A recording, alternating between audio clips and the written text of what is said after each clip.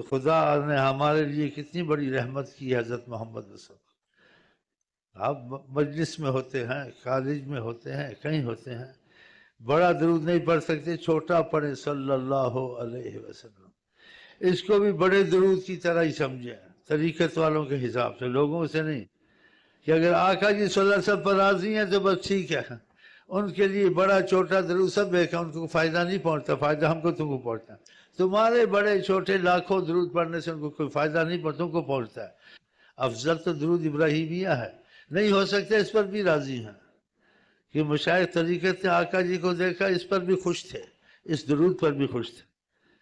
اس لیے یہ چیزیں مسائل میں نہیں جاتی ہیں۔ مسئلے میں ایسا ہے، آل کو داخل ہے، وہ تو سب ٹھیک ہے لیکن وہ اگر راضی ہیں تو آل داخل کرو، نہ داخل۔ تمہاری وجہ سے خدا ان کے آل پہ رحمت کرے گا۔ تمہاری وجہ ان پہ پہلے ہی رحمت ہے، آل محمد ہے۔ تو یہ سوچنے کی بات ہے۔